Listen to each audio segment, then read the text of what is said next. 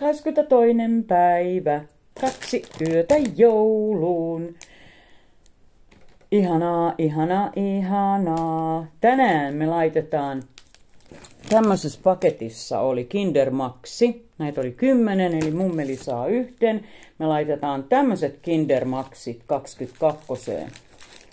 Ja 22 näkyy olevan viimeiset paperipussit. Katsotaan miten meitin käy. Mitä mä teen sitten. Ja Tarra on ihana. Kaksi yötä jouluun. Oi hyvänen aika. Kaksi yötä. Muista, että ei tarvitse pitää suursiivousta, ellei itse oikeasti halua sitä.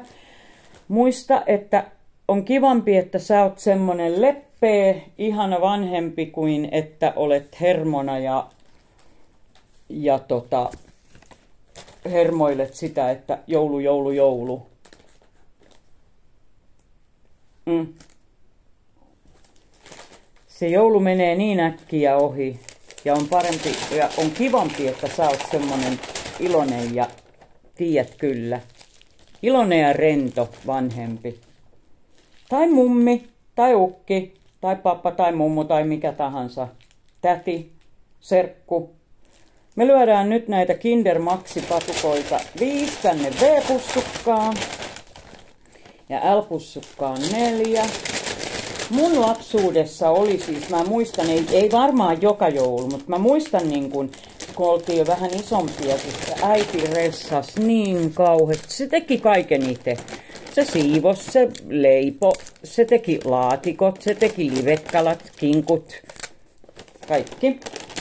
Ja se oli ihan hermona jouluaattona aamun. Se oli ihan kamalaa, kun se oli niin vetänyt itsensä piippuun. Ei siinä ole mitään järkeä. Voi tehdä vähemmänkin. Ja tehdään porukalla. Pyydetään niitä muita mukaan tekee. Eks niin? 22. päivä on tämmöiset ihanat tarrat kaksi yötä jouluun. Tämmöiset. Ja hei, hyvää mieltä, hyvää mieltä, sitä on joulu. Muistetaan, että se on niin kuin, kaikkien pitäisi olla iloisia ja, ja tyytyväisiä ja niin edelleen. Yritetään muistaa se juttu. Ihanaa, ihanaa, kohta on joulu. Ja sitten lauletaan, joulupuu on rakennettu, joulu on jo ovella. Naamusia riipustettu on kuusen oksilla.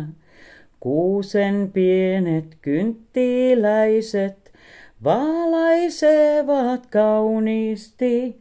Ympärillä lapsukaiset laulelevat suulosti.